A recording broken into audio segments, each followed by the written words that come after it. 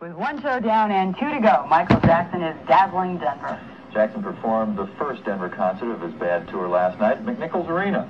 To review it for us, a man who's attended six Jackson concerts over the years, Justin Mitchell, who's the music reviewer for the Rocky Mountain News.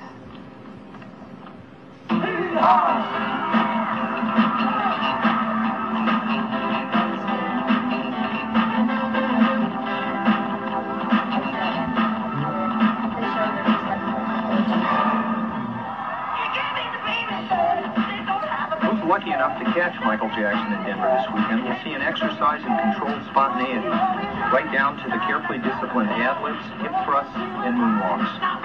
But Michael has made some changes. No longer tied to his brothers, he's free to give the audience a taste of his undistilled, passionate style, surrounded by musicians and special effects of his choice.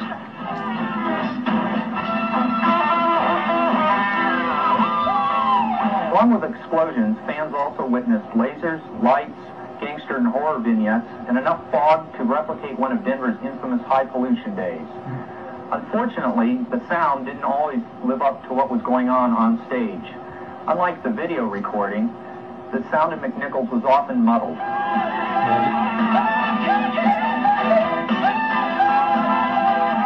Well, last night's show began a trifle on the sluggish side with his trademark opening number, Wanna Be Starting Something. The something really didn't start until about six songs into the two-hour show.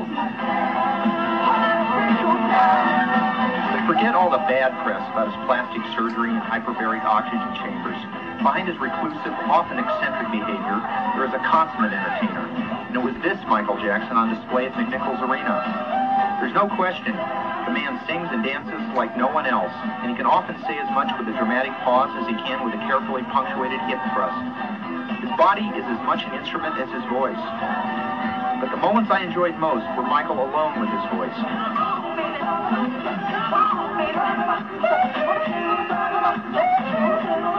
Stripped of the rock and roll Disney environment, Jackson is a joy to experience. For News Center 4, this is guest reviewer Justin Mitchell. He's, known to be a bit eccentric, and he made moonwalking a household word. Who is he?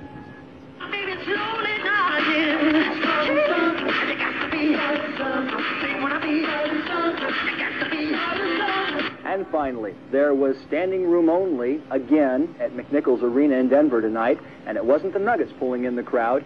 It was the slickest rock concert on the road today. Michael Jackson is in town for a three-day run that ends tomorrow.